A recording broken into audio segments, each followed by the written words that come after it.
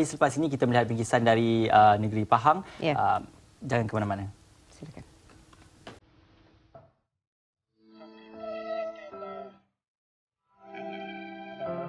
Seorang kanak-kanak berusia setahun yang mengidap penyakit biliari atresia atau kegagalan fungsi hati sejak lahir memerlukan bantuan kewangan berjumlah RM250,000. Sumbangan bagi membiayai pembedahan adik Nik Nur Amni Rania, Nik Muhammad Hafizi di India. Bapanya Nik Muhammad Hafizi dan isteri Aini Azura berharap agar anak sulung mereka dapat menjalani pembedahan pemindahan hati dengan keadaan segera. Ini seperti yang disarankan doktor di Pusat Perubatan Universiti Malaya selepas menerima rawatan awal bulan lalu. Pembedahan di hospital tempatan tidak dapat dilakukan segera kerana menunggu giliran yang agak lama. Nik Noamni Rania mula dikesan mempunyai masalah hati ketika berusia dua minggu sebelum menjalani pembedahan membuang hempedu ketika berusia sebulan di Hospital Tengku Afwan Afzan di Kuantan.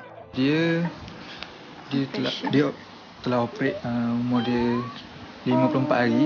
Dia buat kasar prosedur okey uh, kasar itu dia bypass uh, hati lah. Dia buang empedu okey uh, umur dia 6 bulan uh, doktor kata kasar itu fail uh, itu lah yang dia kena buat transplant lah sebab kasar itu fail Setakat ini sebanyak RM35,000 berjaya dikumpul hasil sumbangan orang ramai.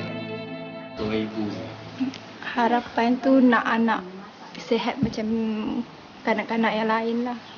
Tu yang saya berharap orang ramai dapat bantu kami untuk adik Rana cepat jalani pembedahan dia.